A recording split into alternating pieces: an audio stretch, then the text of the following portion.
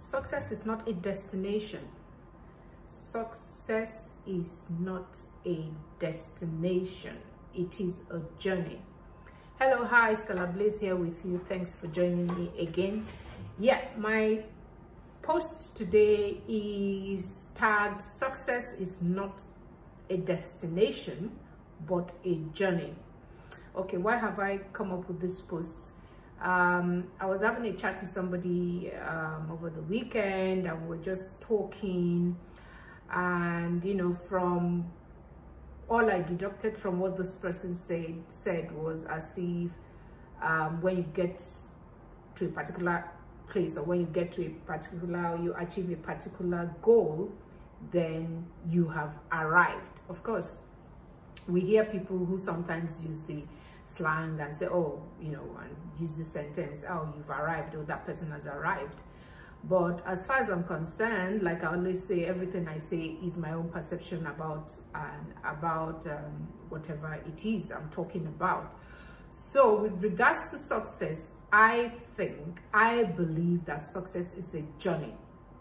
It's a journey in every aspect of our life you fail sometimes you learn from it to dust yourself go back to your go back to the drawing board re-strategize and you continue. And then for example you could use this that okay you have a goal you want to you have a goal set out one of your goals or rather a particular goal you've set out is to buy a house.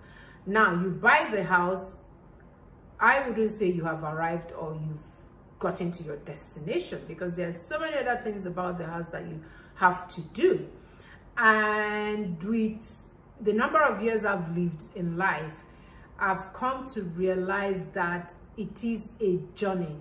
You know, you keep you keep adding on, you keep um, reevaluating, you keep revamping. So you bought the house. Yes, there are one, two, three, or ten things you want to do in this property. You want to furnish it, and it's on and on and on and on. And then even for for for your relig religious or faith aspect as well there's so much for your career aspect there's so much so i would say and you're free to argue this out i would say success is a destination sorry success is a journey rather and not a destination there's so many examples i can i can you know cite with regards to this you know the fact that um, um, you get to a particular state, you, you, you plan to go to a particular state, that destination, and of course, you're not going to remain there. There'll be other things you have to do because you get to the state, yes, what else? Is it just, are you just going to sit and do nothing there? There's so many other things to be done. So it's a journey. So many things will be added on you know that that you get to see that actually this is a journey i want to do this it's a journey to achieve that you want to do something else it's a journey and as we progress on in life so many other things you know come to be what you used to want when you were 15 is not what you want when you're 20 or 25 what you used to want when you're 25 is not what you want when you're 40 or 35 so it's a journey and it keeps changing. The journey keeps changing. Today you are plying a different route because it ties in with what you want at that space and time of your life.